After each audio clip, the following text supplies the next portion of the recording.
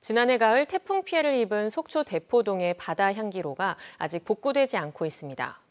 시설물을 기부 체납한 리조트 측과 속초시가 복구 비용을 누가 부담하느냐를 두고 서로 입장이 맞섰는데 최근 협의가 진행돼 복구 공사가 조만간 시작될 전망입니다. 배현한 기자가 보도합니다. 해안 산책로 기둥을 지탱하는 구조물이 허공에 붕 떠 있습니다. 데크길 바닥은 망가지고 난간은 떨어져 나갔습니다. 지난해 9월 태풍 마이삭과 하이선의 영향으로 바다 향기로 외형 취향 구간의 난간과 철제 기둥 등이 부서져 전체 구간의 절반 가량이 통제되고 있습니다. 절벽 아래 바다와 맞닿은 곳에 만들어진 바다 향기로는 절경을 뽐내며 관광객은 물론 주민들도 즐겨 찾았습니다. 지난 2018년 개방 이후 150만 명이 방문하는 인기 관광지로 자리매김했습니다. 전체 구간을 둘러볼 수 없는 관광객들은 아쉽기만 합니다. 되게 좋은 것 같아가지고 사람들이 어뭐 둘레길도 굉장히 잘 돼 있고 그래서 일부러 좀 날 잡아서 왔거든요.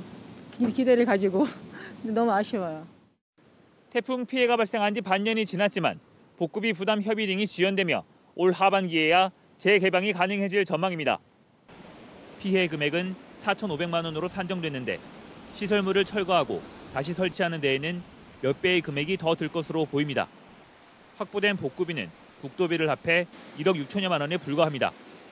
속초시는 현재 재원 확보분만으로는 원상 복구만 가능하다는 입장입니다. 이에 따라 속초시는 바다 향기로 외형 취구안을 설치해 기부 체납한 리조트 측과 추가 사업비 부담 협의를 이어가고 있습니다.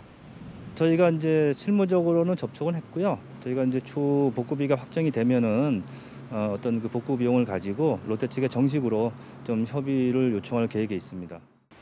속초시는 다음 달 실시 설계 용역이 마무리되면 오는 6월부터 9월까지 복구 공사를 벌이고 10월쯤 재개장할 계획입니다. MBC 뉴스 배현환입니다.